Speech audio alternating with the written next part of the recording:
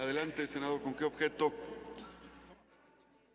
Gracias, presidente. En primer lugar, darle las gracias a la senadora Micher por este recordatorio de una mujer extraordinaria.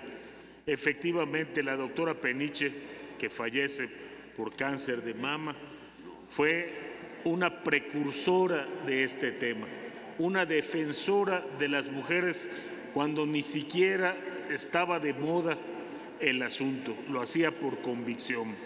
Esta mujer cambió muchas formas de pensar, entre ellas la mía y la de mi señora esposa, que tuvimos el gusto de trabajar con ella, de conocerla y de quererla mucho. Malú, muchas gracias.